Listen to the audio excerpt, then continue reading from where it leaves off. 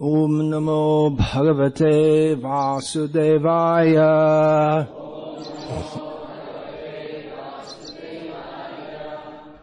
ॐ नमो भगवते वासुदेवाय। ॐ नमो भगवते वासुदेवाय।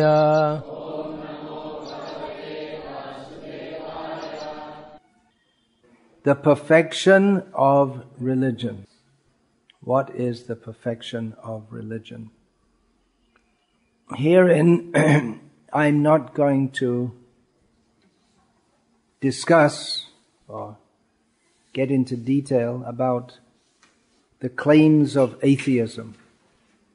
I'm going to start off from the level of acceptance by the hearers that religion is worth pursuing. Um, of course, at the present time especially, thanks to the, or not thanks to the efforts of persons like Dr. Richard Dawkins, Sam Harris, and the late Christopher Hitchens. And in Hindu culture, when we say late means expired, we say something like swarga prapta, means gone to heaven. But we don't know in the case of Christopher Hitchens. He's dead, but I don't think even if there was a heaven, if he'd want to go. Anyway, that's another subject. We start from the level of acceptance that religion is important, essential. Uh, atheism is predicated on and in many ways non different from philosophical materialism. It's getting a bit tough for the translator. Tatvik Bhautiktavad, uh, in which they presume that there is nothing but matter. We cannot perceive with our senses, we cannot see, touch, taste, smell, feel, or hear, according to them, anything but matter. So therefore, we conclude that there is nothing but matter. But intrinsically, I, I don't know about you, but I can, I'm sure many others can also, can intuitively understand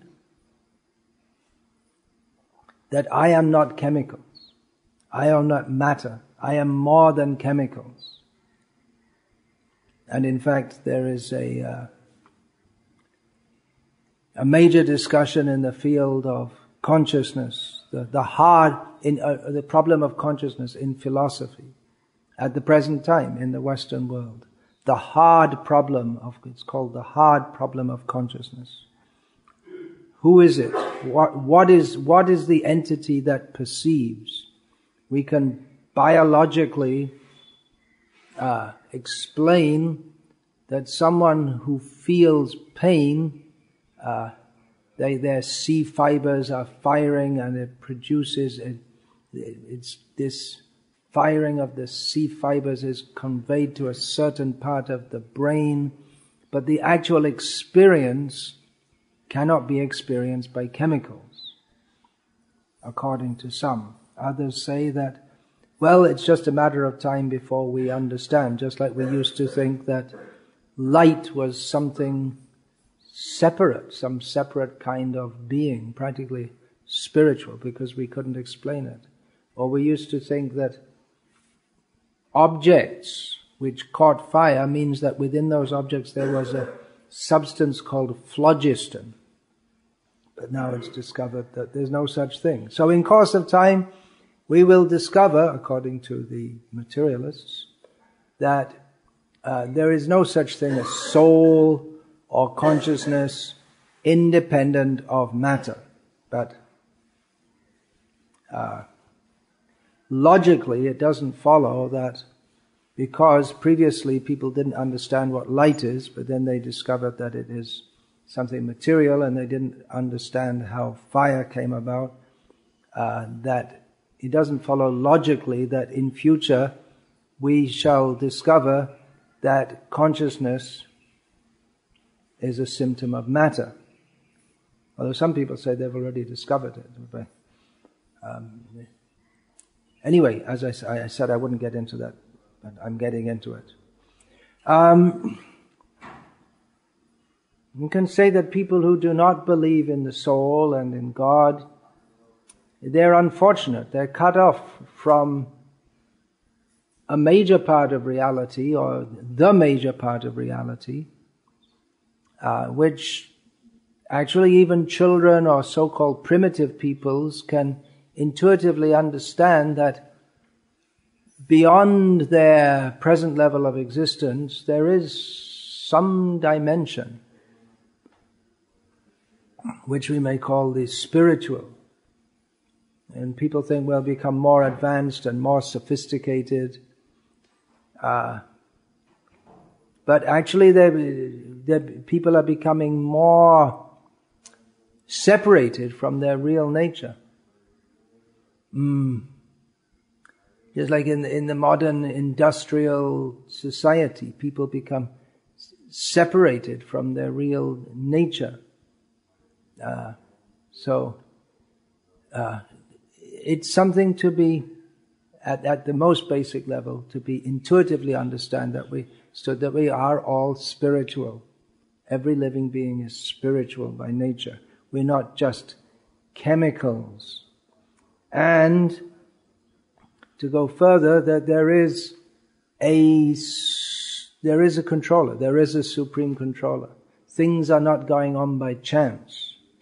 So um, we accept this as we'll start off our discussion with this point, and just uh, without getting it into much detail, we can say that just as blind men cannot conceive of the uh, what it means to see, what is sunlight, what is visible form, what are colors. So atheists cannot believe in the existence of God. They become very sophisticated. It means they they accept some duplicitous logic by which they presume themselves to be more intelligent and more capable of knowing than they actual are, actually are. And they also, there's also in materialistic science this uh, accepted axiom which has no, actually no logical basis that knowledge is only that which we can prove according to our systems. That we, we've, we've made some methodology and we say that if you can't prove something according to our methodology, then we simply uh, say that to even to think of it or even to study it is foolish. But uh, we who are here as humans on this planet, we say, look up, look up higher, beyond matter. Uh, there is a higher purpose of life. There, there's meaning to life. It's not just that we're a bunch of chemicals that got put together or not put together, just formed into various bodies and they enter the, this particular form of chemicals interacts with other forms of chemicals. No, there is a higher purpose of life. There is the spiritual aspect of life. Uh, that is what uh, this, this discussion is all about. Uh, so this discussion is for people who want to be religious, in the best possible way. Now, um, we may think that, well, or many people think, well, well, my religion is the best. The best possible way you can be religious is to follow my religion. And why is it the best? Well, I'm following it, so it must be the best. It's not a very good logic. Or people tend to get in very constricted uh, ways of thinking. Uh, but actually, our search should be for the truth. What is the ultimate truth? We may think that, well, how are there gradations of religion? You're either in the right religion or you're in the wrong religion. Many people think like that. Uh, but there may be gradations also. Uh, we see gradations uh, everywhere. The children going to school, they, there's someone at the top of the class and someone at the bottom of the class. There's uh, in the running race, there's someone is faster and someone is slow. Of course, religion isn't or shouldn't be a matter of competition, but still we can say some things are better than others. Some food is more healthy in general for people to eat than other food. Some climates are generally more salubrious, which means uh, conducive to good health than others. Uh, and even within the practice of a certain religious system, there may be better ways to follow and less good ways to follow. So there is a gradation, and this discussion is for persons who want to be religious in the best possible way. That that means that they look around and see that, all right, there are so many different religious paths being professed in the world, and what's the best, at least for me? How can I best practice? If we consider that religion is meant to be concerned with our eternal life as compared to the uh, blip of time that we're on this planet in a human body, uh, and that religion is a preparation in this life for the eternal, then we should be very serious about it and we should be serious to find out what is the best way that we can practice. Uh, we should also see that although uh, in the past maybe religions have tended to be very uh, closed, limited in their outlook, our, our way is the best, our way is the only way. That doesn't really work in the modern world when you, when you have thousands of people all saying that our way is the only way and the best way, then um, you could do a roulette or lottery kind of way to try to find out the best religion. But otherwise, we should take an intelligent and non-sectarian approach. Now, uh, obviously, I have made a choice, and I, which means I think I know which is the best path. I'm, I'm not sitting here as a neutral philosopher, but I've chosen a path. And ultimately, if we are to uh, best develop ourselves in terms of religion, then we have to follow some path. It's not enough just to say that, well, all paths are good and not really follow any of them fully or properly, or just choose a bit here, choose a bit there um, we have to, we have to follow a path. And choosing a bit here and choosing a bit there, uh, that also won't work very well because uh, different paths they they they they're, they're integral paths. That means you just can't take a, a bit. All the bits fit together. So you have to follow one path, and I've chosen a particular path, but I want to present um, not with the attitude of bashing, my religion is better than your religion, or my God is better than your God, my God's gonna, if you don't shut up, I'll send my God to beat up your God, or, or some foolish ideas like this. Um, but in an intelligent and uh, non-sectarian way. Uh, um, in which we, in which we invite persons who are interested to hear, to consider what's being spoken and try to understand for themselves. Now, of course, many people say religion is a matter of faith, and of course, matter, faith must be there. If we are to believe in or, or accept something which is beyond our immediate level of sensory perception, then some level of faith may be there. But at the same time, we find that in every religious system, or at least those which we call bona fide religions, there are scriptures are given, and scriptures we can understand are God's communication to man. That means God wants us to understand about Him. In other words, He's speaking to our intelligence. So we can immediately uh, make one inference that uh, one symptom of the best religion is that which makes the most sense on the platform of intelligence. I'll get back to that later because it is a big subject, and or, or it's a nuanced subject considering that uh, our own intelligence is very limited and we may tend to uh, mislead ourselves, self cheating. Anyway, uh, trying to keep it somewhat simple because we could get into many uh, complex discussions of details, but I'm just trying to outline some of the most simple points in this very important uh, um, um, discussion. Yeah, I just I want to present it in a fairly uh, simple and systematic and non-dogmatic way.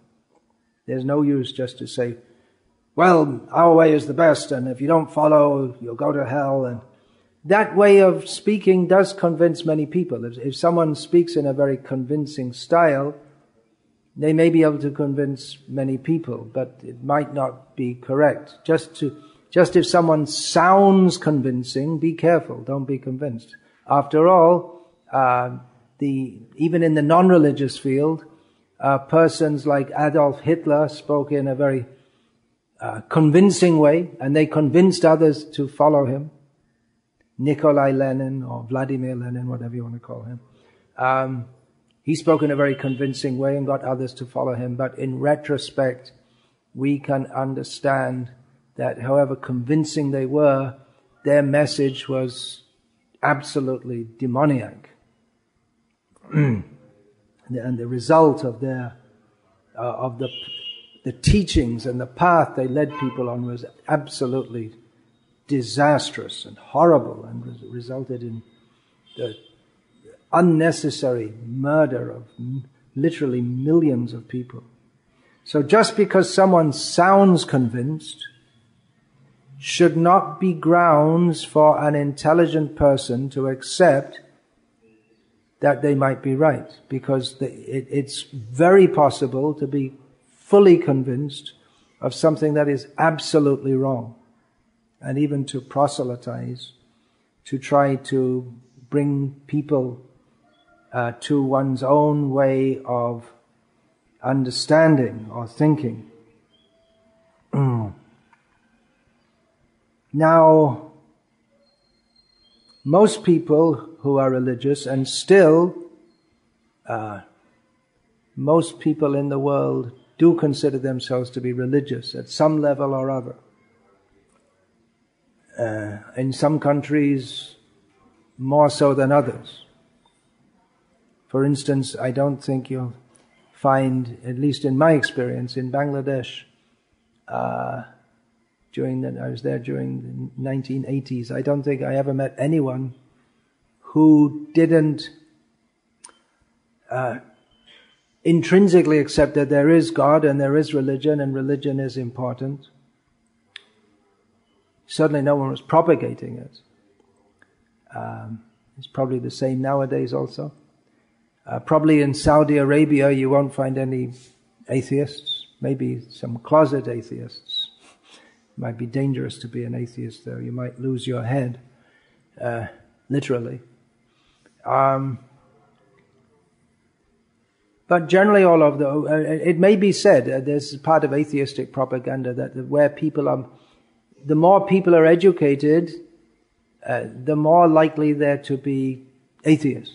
They have figures like that, that among scientists, the rate of people who have university degrees in science, the, in the Western countries, the percentage of atheists is greater, and the higher you go in science, the higher the percentage of atheists is well, that doesn't necessarily prove that the more intelligent people are, the more likely be, they are to be atheists. It could also uh, be a product of the education itself being intrinsically atheistic in outlook.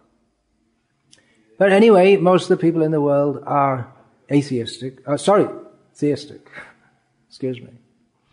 And uh, they mostly fall into broad categories as Christians, Muslims, Hindus, Buddhists, these are the major groups, and then there's a large number of uh, Jews, although they're not in the very big numbers, but they're still, uh, and they are, their influence in the world is uh, disproportional to their numbers, and uh, there are also uh, various what we call may call in terms of the number of adherents, minor religions such as uh, Shintoism, Zoroastrianism, better known as the Parsis who follow it, Sikhism, Jainism, and so on.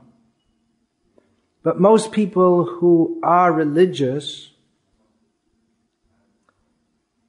they, they adhere to a certain religion mostly because they're born into that culture. The vast majority of Hindus are Hindus because they were born in a Hindu family. And we can repeat that statement with a slight change. The vast majority of Muslims are Muslims because they were born into what we would call a Muslim family, although Richard Dawkins doesn't like such statements, but we don't have to go along with what he says. Most people are, most people who identify themselves are Christians because they were born in a Christian family. And it would seem that in the vast majority of cases, they never really thought about why I'm a Christian, Hindu, Muslim, or whatever.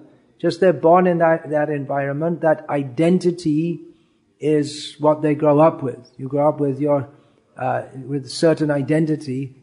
I am a boy, or I am a girl. Uh, I am Thai from Thailand. I am a Buddhist. It all goes together as part of the package, the identity that we've given and the culture that we're raised in, and we go along with it.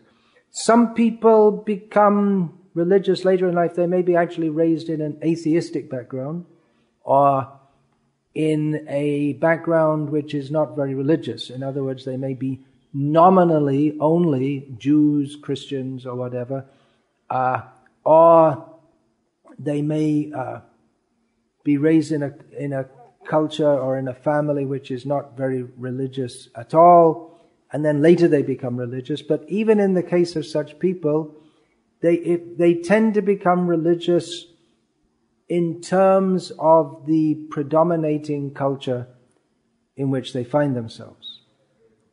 Uh, that's less and less so in countries like England and America, where there is a strong influence of multiculturalism and uh, Christianity, which has been dominant in those countries for uh, more than one and a half millennia, is at its lowest ebb and getting lower all the time. So uh, people, if they want to become religious, don't naturally gravitate toward Christianity. There are other people who although raised in a uh, religious environment later in life, they think, oh, I, I, don't like this. I don't want to be part of this. I don't want to go on like this with my whole life. And uh, interestingly, uh, in America, where there are still theological colleges where people go to specifically to study the Bible, uh, many people, or, or, they take up Bible studies in a, in a university which is not wholly and solely theological. Uh, it's quite often the case that when, after studying the Bible, they become atheists, when they study in more detail and find out all the contradictions and all the uh, all the things which uh, they believed in are put up to question, and there are no good answers.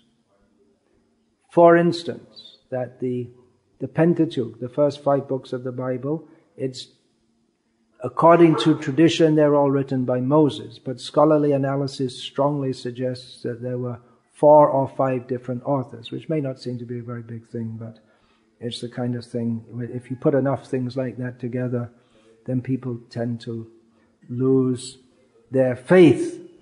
So, um, our, our real approach, instead of becoming uh, skeptical, should be how to find the truth. When we say what is the what is the perfection of religion, we're not talking about whether it's better to just like uh, the Muslims they're supposed to and many do actually pray five times a day bowing down toward Makkah. Um, the Hindus are supposed to do some puja every day in the morning, although that's almost forgotten. Practically, there's nothing in Hinduism that, that is prescribed. That, that there's no practice that can identify you as a Hindu. For the Christians, there's going to church on Sundays. They should minimally do that. For the Hindus, there isn't anything in particular that defines them. For the Jews, I guess they're supposed to go to the synagogue on Saturdays. Um, for Christians, yeah, the, the, the defining point of a Christian, although there are some Christians who don't believe in this, but they're considered heterodox, you're supposed to believe that uh, Jesus is God who came as man and uh, died on the cross to absolve us from all our sins. And you have to, if you believe that, then you're a Christian. If you don't believe it, you're not a Christian. Although Jesus, from the records we have in the Bible, never said or even hinted such a thing. Anyway, um, we should seek for the truth. What is the actual truth? Um, what is the ultimate reality?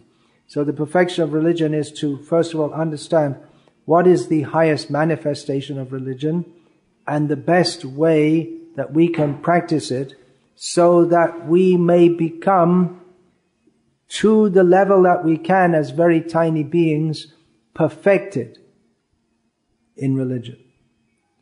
Considering that religion is so important, it's concerned with our eternal identity. Ah, all right. Um, so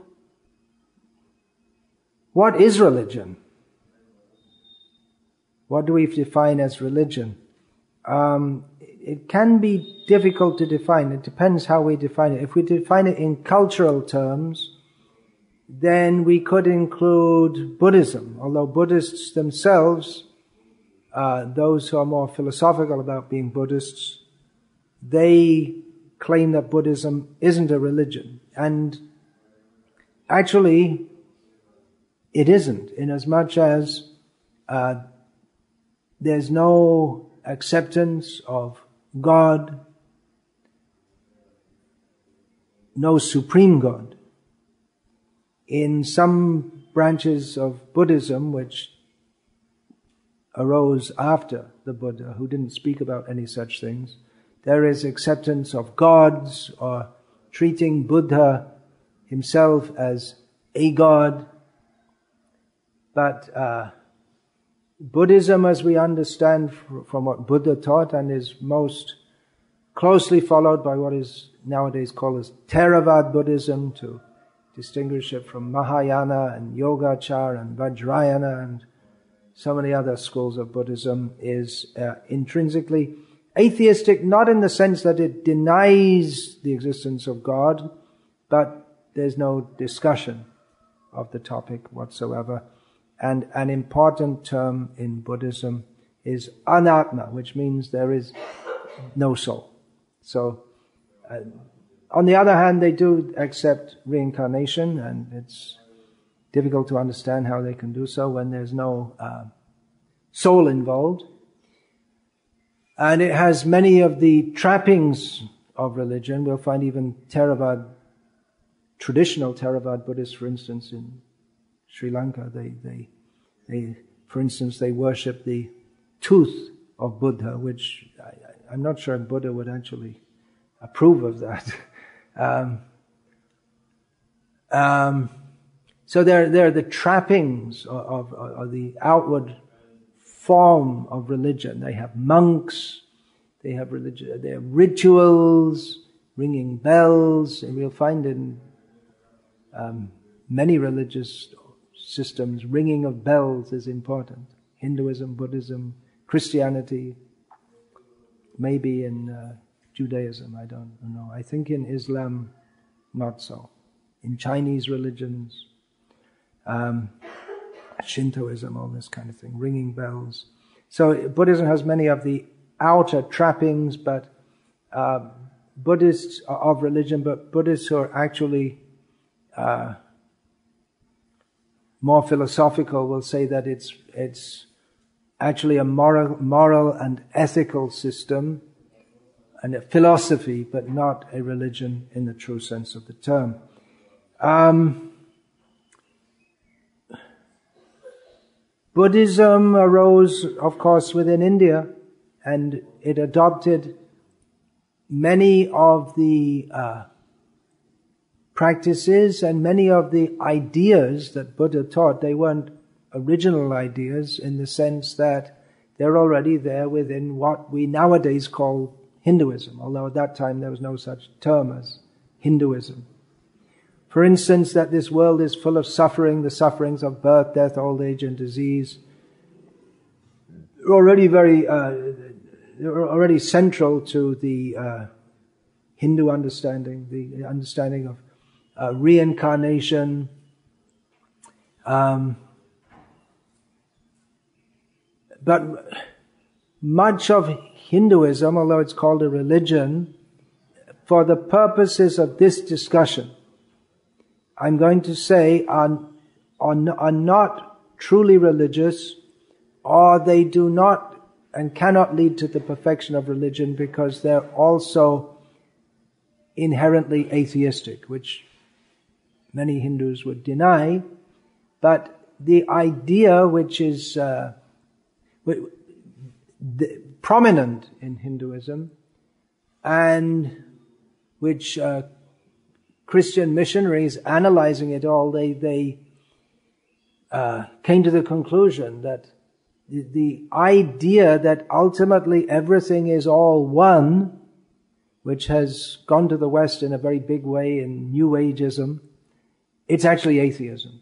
It, even though within Hinduism there are worship of many gods, um, but the, the, underlying idea that everything is all one and, and that one, a, a, person, an individual can ultimately by meditation and yoga, uh, surpass all the gods and become one with the supreme being who's ultimately not a person. This is ultimately atheism. Now, it's not that everyone who is called a Hindu subscribes to this idea, although it is almost ubiquitous, all pervading in Hinduism. There are, however, those, uh, it's not so well known uh, outside of India because this um, impersonalistic kind of Hinduism was first propagated in the West. And maybe within India it's also not so very well known that there are many persons who nowadays would be called Hindus, but at the time they didn't call themselves Hindus because there was no such, there was no such word, who are strongly opposed to this idea and who insist that there is one supreme God. So for the purposes of this discussion, I'm going to say that the perfection of religion lies in accepting that there is one supreme God and our relationship with Him, understanding our relationship with that Supreme Person, and knowing how to act in that, that relationship and how to become fully absorbed in that relationship. That is uh, the perfection of religion because the idea of becoming one with the Supreme, again, this is another very big discussion which has been going on for centuries uh, among uh, philosophers in India, Vedanta philosophers. the idea that we can become one with the Supreme is absurd. We are not supreme. And we are not ever going to be supreme. We're, we are uh, eternal living beings, but we are, that means we're real, but we are dependent upon the supreme reality. We cannot become the supreme reality. So I'm not going to get into detail into that here because it's too much to get in, too much of a discussion. That requires another uh, long discussion. But for the sake of this discussion, I'm going to say that uh, religion means to accept that there is the supreme person known in Christianity as the supreme father or the supreme being upon whom we are dependent. So the perfection of religion begins with uh, accepting that as a fact. Now, um, there, there is also the very big field of, uh, apart from the philosophical approach, which culminates in imagining oneself to be one with the Supreme, or even having some uh, experience uh, of, of thinking oneself to be merging with some cosmic white light. Um, similar to this, not exactly in approach, but in um, in the ultimate goal is is mysticism, um, yoga practice, or uh, coming to a different platform of reality. There, there have been some mystics within the Christian tradition, although within the Christian tradition it's generally not been discouraged, and in fact, uh, at one point was strongly discouraged by uh, such methods as burning at the stake. That's, uh, that has traditionally been a Christian response to uh, unorthodox approaches. Uh, it's quite different to the religious atmosphere of India, which was so open uh, that it became practically to India's disadvantage as a nation. India was so tolerant of religious approaches that uh, they've allowed, and still do, allow others to uh, proselytize in a manner which is uh, to the Hindu culture. It's uh, very detrimental. And I'm using the word Hindu here as a in a conventional term, although there's no such uh, scriptural term within what people would call the Hindu scriptures. There's no such term as Hindu. It's a relatively modern term. So, uh, religion. What is religion? We should accept there is this supreme being. Within Islam, they won't say the supreme father. Uh, they'll say the supreme being. All right. So this we can accept as religion. There is this supreme being a supreme person upon whom uh, we are dependent we have to accept our dependence upon, pray to, uh, expect mercy from, worship. This then we can accept as being uh, religion. Now, different people approach this supreme being who we may uh, use the English term for God as I'm speaking in English. Um, although obviously uh, this term is loaded with uh, cultural and particularly uh, Christian baggage, but anyway, we can say in general God. So people approach God for different reasons. They may approach Him because they're feeling distressed. Please protect me from Save me from my distress because they want money. Please give me money. They may uh, approach him uh, uh, just out of some kind of curiosity. What's this all about? They may not be so very serious, or they, but they may be interested on a philosophical level or just curious level out of fear because they're told if you don't believe in God, you'll burn in hell forever. Maybe out of a sense of duty. Yes, well, my mother told me I have to go to church every Sunday. So now my mother's dead, but anyway, she, wants, she wanted me to go, so I should go. Or just maybe without thinking because if you're in a village where everyone goes to church on Sunday, then you don't really think about why you do. It's just everyone does it. So you should also do it.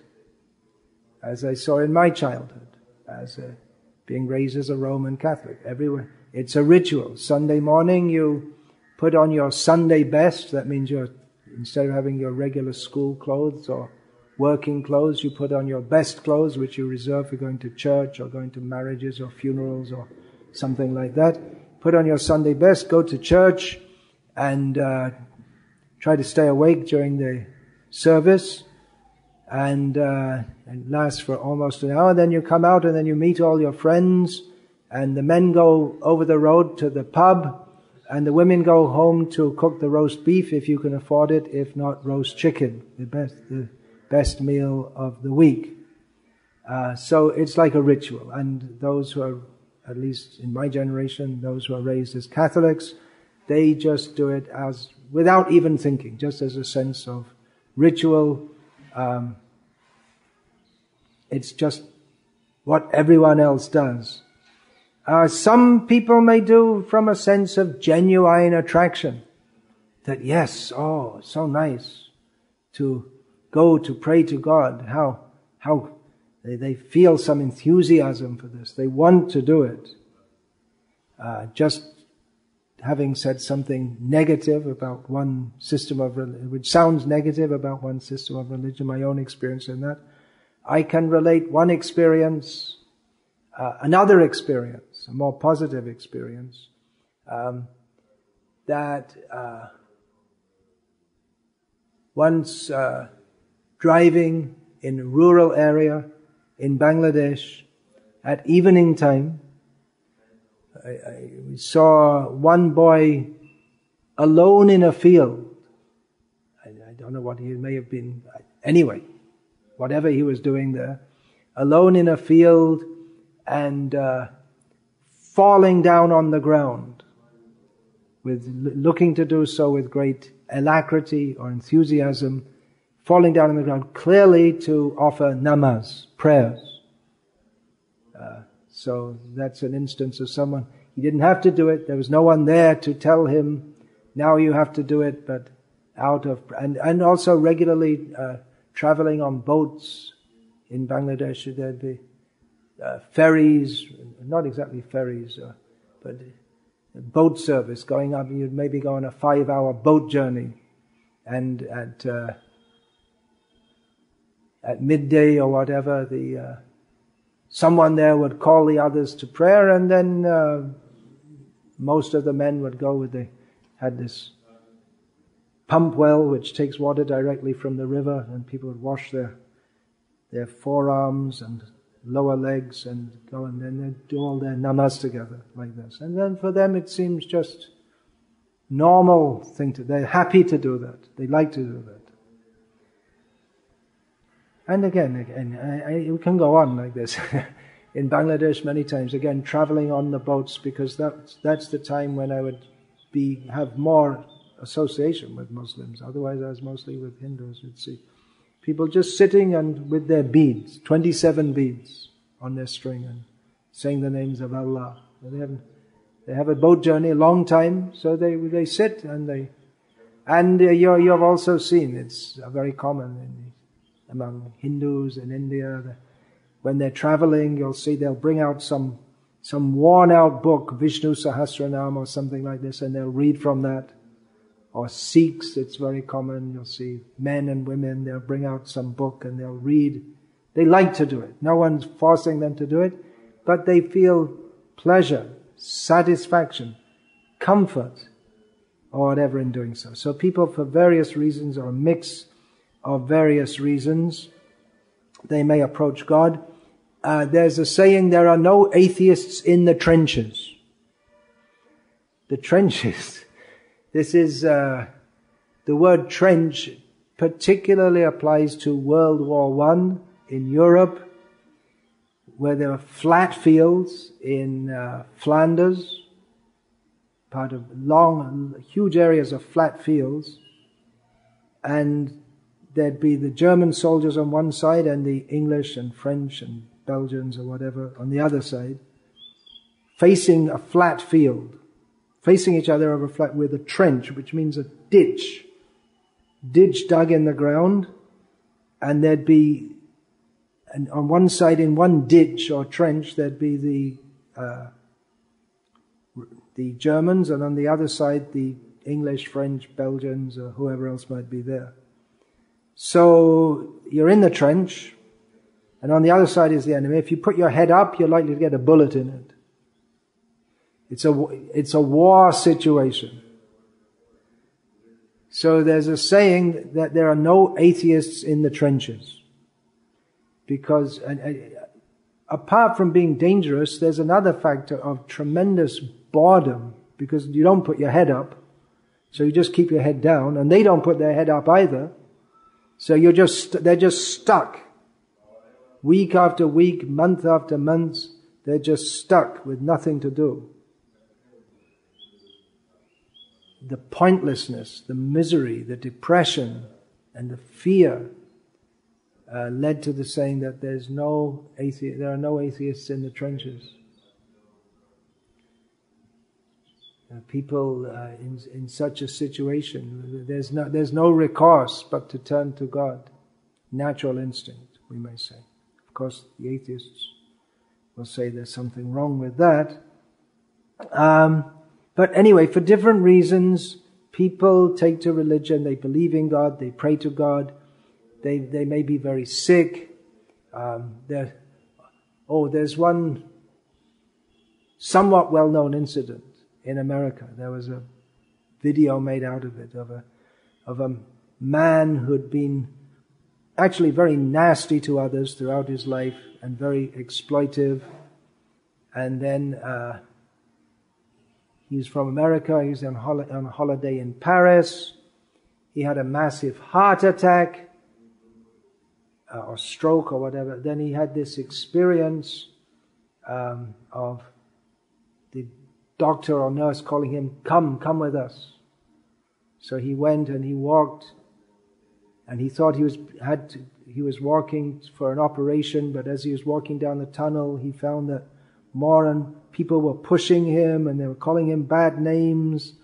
And it, as he walked on, he, he felt he couldn't go back. But as he walked on more and more and more, they became more rough and more violent. And they started screaming at him and, and looking really ferocious. And then he saw the faces of all the people who had mistreated in his life. And they were, they were scratching him and kicking him. And he, he, he thought, now I'm on my way to hell. And at this time, although all his life he'd been, for most of his life he'd been atheistic and had, and had said bad things about God and religion. Uh, he just remembered from his childhood that his mother had told him to pray to God. So at this time he called out, God! And then all this thing vanished and he found himself on his bed again. So then he recovered from his illness and he became a Christian preacher. So it may be that people, they, they have some remembrance of God, even though all their life they've rejected that. For very, I mean, we're just saying for various reasons people approach God. Uh, why do people become religious at all? Uh, some may do so out of a sense to, to promote their own prestige. That in a society where being religious is considered respectable, then people, it's considered proper. It's part of being a respectable member of society to believe in God and to go to church and to give charity to the church And uh, if someone is seen to be very, in, in a religious society, if someone is seen to be religious or very religious, that may increase their prestige. That may be hypocritical. They're not really approaching God, they're really doing so to increase their own prestige. And there are many stories like this, and Jesus told the story of the the widow who was very poor and she had very little money, but still she gave half of it secretly to God in the temple, whereas some other priests, they made a big show of giving a large amount of money in charity, although it was actually very little compared to their total net worth. And Jesus said that the widow, she got her reward in heaven, but the priests, they got their reward on earth in the name, in the form of name and fame. So that's not really a, that's, you could say that's being religious, but it's not really religious in the true sense. It's actually being materialistic, which is one reason why, one reason probably why some people who are religious become disenchanted with religion when they see there's a lot of hypocrisy going on in the name of religion. So the perfection of religion is obviously not a hypocritical or self-motivated approach the perfection of religion is to uh, worship God because we like to, uh, because we feel uh, we want to do so, because He wants us to do so. Um, that may begin with a sense of gratitude that, oh, God made so many nice things for us. All things bright and beautiful, all creatures great and small, all things wise and wonderful, the good Lord made them all. So there's, there's a concept that God made this very nice world and we should be grateful to Him that He made this nice world that can we, that we can live in. As Louis Armstrong sung, what a wonderful world. Of course, this kind of preaching might not be very effective at the present time in, for instance, Syria or Iraq. Uh, but if you're living, for instance, uh, in America and you're living very peacefully and you have a secure job, uh, firing missiles from there via computer to Syria or Iraq, you might thank God for giving you a wonderful world to live in and giving us uh, wonderful missiles to destroy all those horrible people over there. Um, Sorry for the sarcasm. Um, so a sense of gratitude is there that God made the world nice. Of course, that could uh, that could change if one is subjected to seeing situations which are not so very nice. As uh, an example I've cited several times, Ram Jethmalani, a well-known lawyer in India, fairly well known, probably not known outside of India. He probably has some offspring living in America. Uh, he said, What I used to believe in God, but when I went to the scene of the earthquake in Bhuj in Gujarat state, then I stopped believing in God. When I saw so many children had, had been trapped in the rubble under a school and had died or were suffering, then I thought, well, there can't be any God. So the sense of gratitude um, for God having made everything nice for us, um, that can run into problems when things don't always go the way that we hope they will do. Um, a sense of gratitude is not misplaced uh, in relationship to God, but